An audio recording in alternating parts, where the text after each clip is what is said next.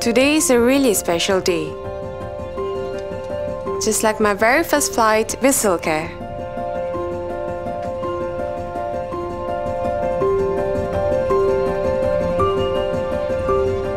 I was 21 and I remember it was a flight to Solo. It was uncertain and exciting.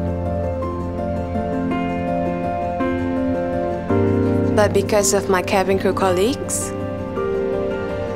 everything feels like home.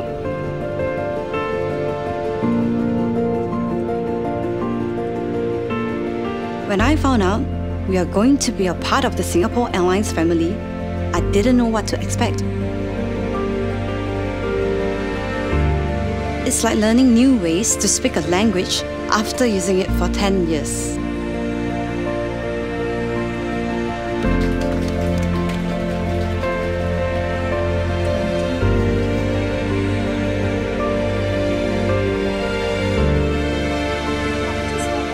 It's not just how you plate a meal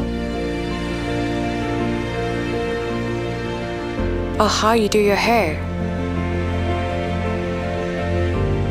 It's learning how to stand tall in your sarung kebaya from those who came before you.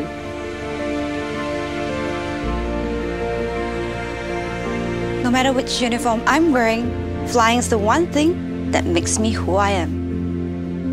We're excited to continue our journey with Singapore Airlines.